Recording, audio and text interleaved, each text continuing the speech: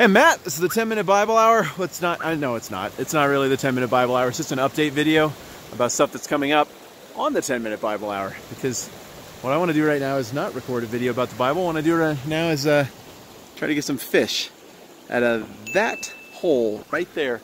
I think it's going to be fruitful. And if it is, I will show you the fruits of my labor when I'm done.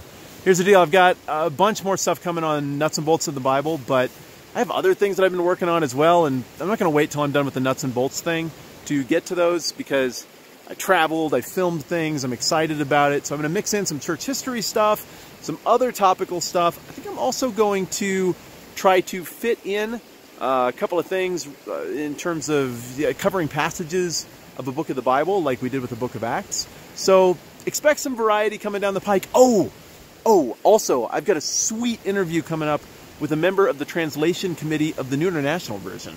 So that'll be out in a couple of weeks. I've also got a thing on uh, really weird outside the box strategy for missions that the cool guy is working on in Nicaragua. A bunch of stuff. Oh yeah, and the other thing, I wrote a um, a collection of horrible animated shorts about the worst parts of the Bible.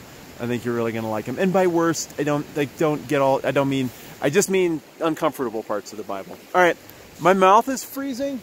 I'm about to get those icicles on my eyebrows and beard, which is cool and Norse, but not effective for health or extending the longevity of my fishing day. So I'm tapping out. Like I said, if I catch something, I'll show you. If you have ideas for things you'd like me to sneak in to that nuts and bolts series, throw that in the comments and no reason we can't get to a whole bunch more stuff. All right, fish.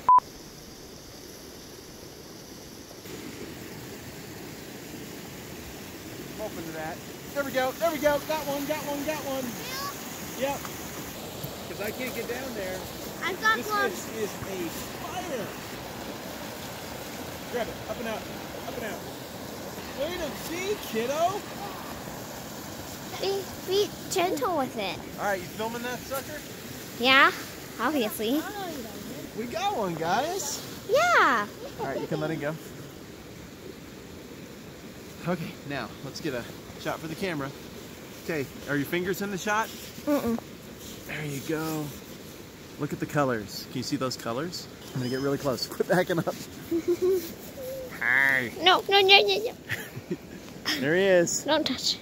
Don't touch. Don't touch. Don't touch. Okay, give me the camera. He's got to go back in. Yeah. Those colors. No, just kill me. Okay, put him back.